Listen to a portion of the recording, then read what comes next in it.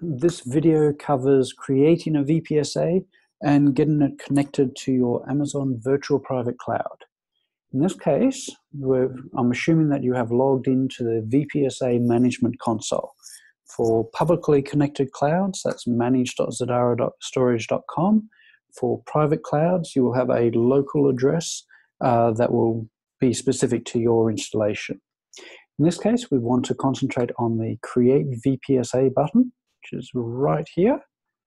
And then in here, we can just choose a VPSA name, a description, which particular cloud provider to use, and which particular location of that cloud provider to specify.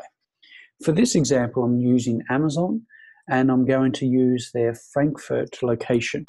And this is mainly because in my particular environment, I've got a lot of existing connections in our um, already in my console for the US locations, and I don't want to confuse people. So I'll choose Frankfurt here. I'll choose a baby engine. You can also choose different size engine for different numbers of CPU, memory, and drive capacity there. Um, the more CPUs you have, the more responsive the VPSA is, and the maximum number of clients uh, that each one can support goes up. So in this case, I'm going to just choose four of the five terabyte drives, and I need to give the VPSA a name for video. Say for a video. There we go create a new virtual private storage array and submit. So normally if you're creating this for the first time, you would hit this create uh, VPSA button. The request would go off to the Zadara storage team and we would contact you uh, separately uh, regarding that. We, for most connections, we offer an onboarding session which covers what I'm about to cover um, in more detail. And that, that's now going to be creating, it's launching, and then it will be booting, etc. While that's doing that, I'm going off to the Amazon console. And in this case, I've selected the right region, Frankfurt, and I can see I've got a VPC already created here. Now, to connect your VPC or virtual private cloud to Zadara storage, we need to create a virtual private gateway or a VGW. Now in this case, I've already created it here.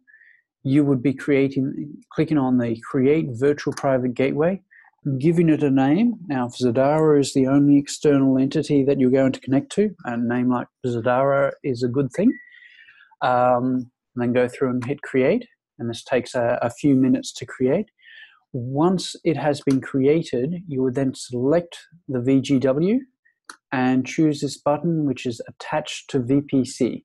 And that will present a pull down button saying which VPC you, you're connecting to. In most cases, you've only got the one VPC, and so that um, will be easy to uh, do there. And then you would hit attach, and it would then say attaching for a while in there, and then eventually say attached.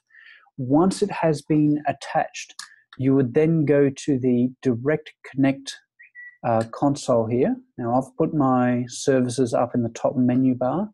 You would normally see under services, networking, and then direct connect. Okay. And in this case, you would see under, I've got the connections here. These are our 10 gig fibers going into Amazon. I need to select the virtual interfaces. And one of these would be saying uh, you'd be offered two connections marked um, in here and you would need to accept each one. And for your view, you would have a button here marked accept virtual interface. You would choose that, make sure you choose the appropriate uh, VGW, and eventually, it takes about two minutes or so, uh, it would go into a state available like all of these here. Now, Frankfurt at this the time of recording this video, we've only got a small number of uh, connections here, uh, which is why this isn't that large. For some of our other areas, it is pretty large there. So now I need to go back to the VPC console, again, services, networking, and VPC. right? And then I need to choose the uh, verify which is my VPC again, VPC 985, that's how I remember them. And then go into the route tables for that particular VPC. There's only one here.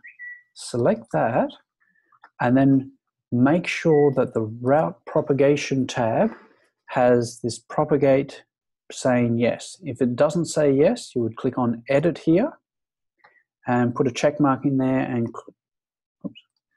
and click on save. Once what this does, the, the VGW is setting up a BGP session between Amazon and the Zadara routers. This route propagate ensures that the route from Zadara, which is this field, this address here for Frankfurt, is automatically propagated into into your uh, private cloud. And the other, the reverse is true.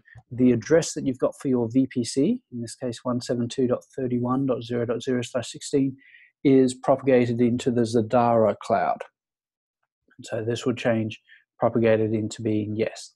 Now, again, th this may take a few minutes to establish, so you would be um, clicking that and hitting refresh a few times.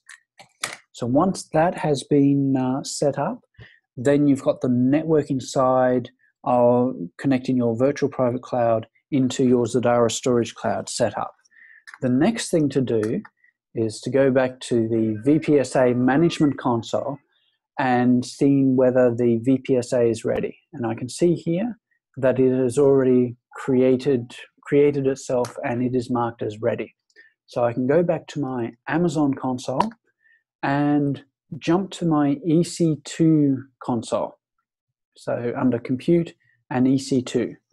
Now this connection between your virtual private cloud and the Zadara storage cloud, your VPSA is only accessible from anything running within your virtual private cloud. So in this case, I would need to create or log on to a new uh, EC2 instance to be able to forward my interface here into um, to the Zadara storage in your uh, VPSA. So in this case, I have a um, I have an instance already uh, set up here. It's a Windows one, so I'm going to start this up again. Um, instance state and start. Yes, I would like to start that. So this is a Windows instance, and I'm choosing the Windows one solely because of the web browser um, that you've got within the Windows instance. I'm